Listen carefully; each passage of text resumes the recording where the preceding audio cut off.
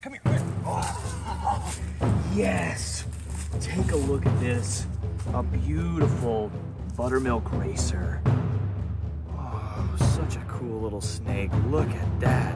We actually went flipping. Uh, easy. Can be quite defensive. Wow. Absolutely amazing. Look at how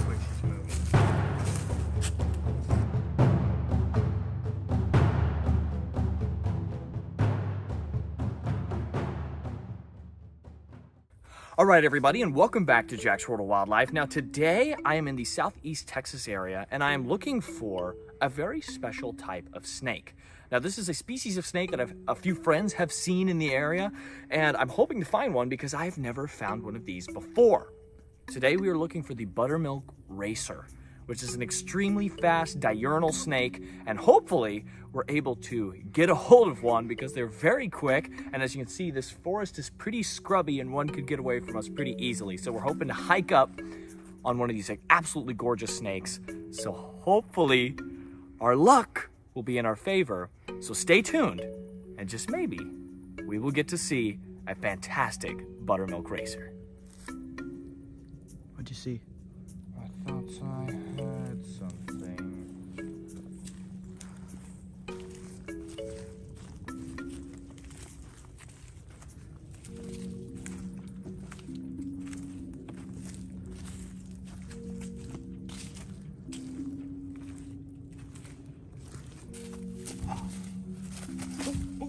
Come here, come here. Yes. Take a look at this. A beautiful buttermilk racer. Oh, I'm really surprised that I was able to nab that one so quickly because as the name might suggest, these are incredibly quick snakes. Now take a look at those beautiful specks this animal has. Oh, wow. Look at the colors actually. Right here, right above the, the ventral scales. It's kind of like a hodgepodge of rainbow colors. Blues and pinks and creams. This is a really nice buttermilk. And this is actually my first buttermilk racer. We're here in Southeast Texas, uh, where you can regularly encounter uh, these gorgeous, gorgeous snakes. Now, on top of being super speedy, hi, it's okay, I'm not gonna eat you. On top of being super speedy, these snakes will regularly prey on other snakes. Uh, so they are um, very adept at hunting their own kin. Uh, so they'll grab other uh, species of snakes, even other venomous snakes, uh, or rather, should I say, venomous snakes, because these are non venomous. Uh, they will grab other snakes, constrict them, strangle them, or break their neck, and then they will swallow them. Wow, this is a really nice one. Hi. Oh, such a cool little snake. Look at that. Very attentive. Now it's it's kind of uh, later afternoon, which is a good window of activity for these snakes um, because they're actually one of our more diurnal species. It's not at all uncommon to see these zoop, zipping past um, on trails like exactly like this one uh, as they're looking for new places to hide or prey on the move. Wow, look at that. You see where they kind of get that name, buttermilk, those little kind of cream little specks all over the body. This is a really nice little juvenile. Wow. Now this is a, you know, medium sized. Uh, a lot of different species of racers can get regularly over six feet. Uh, so they can become quite impressive snakes. Look at that. Oh, oh, easy. Don't. It's okay. I'm not going to eat you or anything. Now she's realized there's a face for her to try and bite. Look at the two tones there. What? She's like, just tracking me. She's like, what are you gonna do? What are you gonna do?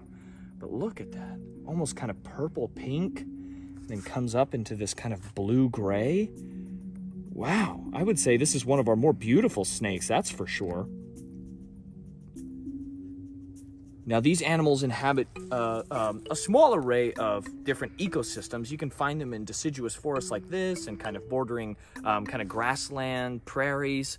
Uh, so they are able to inhabit a, a few different ecosystems because um, they're pretty gregarious in what they'll feed on. They, they'll, they'll eat quite a lot of things other snakes, lizards, skinks, uh, sometimes little frogs, um, and once they get large enough, even mammals uh, are on the menu. So they do quite well.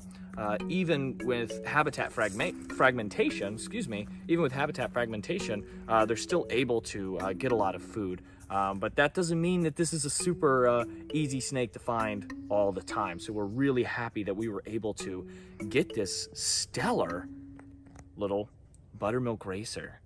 What a cool animal. You guys are always asking me for more snake videos. This is an amazing snake to feature. Absolutely killer. Really, really nice. We actually went flipping, uh, whoa, easy. We actually went flipping uh, for these earlier and we weren't able to find any. So then we came to this little uh, wooded area in hopes to find uh, some other snakes and some other animals to show you guys. Um, and we were surprised with a lovely little buttermilk racer. Our, our hard work was uh, rewarded, but look at that. Super alert, super quick, very, very charismatic little snakes. Wow. Nice little belly scales there. Look at that. I mean, does that not just look like, you know, sherbet or something? Cotton candy? Look, that's like cotton candy colors, blue and pink. Really, really nice. Oh, what a cool, cool, cool snake. Oh, absolutely fantastic. We're gonna try and get some shots of this little girl. Ooh, easy. We're gonna try and get some shots of her now that she's kind of calm. Hopefully she doesn't get away from us um, so we can incorporate some of those awesome colors and scales and beautiful looks. Whoa, whoa. What are you looking at? It's okay. She's like, I'm finished. It's okay. We just need you for a little bit longer and then you can get on your way. All right, we're going to try and get some shots. Well, we don't want to keep our beautiful, beautiful buttermilk racer for too long. So watch as we release her. Hopefully she can showcase once again that namesake racer name. Here we go. It's okay. Look at that. Look how speedy that is. You'd have a hard time. She's kind of still wanting to be defensive, but you would have a hard time getting up after that. Go on. You okay? Wow. Absolutely amazing snake. Look at how quick she's moving. There she goes off to a little brush pile. Awesome. Well, I hope you guys enjoyed this video. I had a lot of fun. This is my first buttermilk racer, so I'm nice and jazzed up for the rest of the day. So thank you guys so much for tuning in. Be sure to like, comment, share, and subscribe. Be sure to turn on post notifications so you don't miss anything else. Buy the new merchandise. It's pretty cool when it's not drenched in sweat. And above all else, stay tuned for the next episode of Jack's World of Wildlife.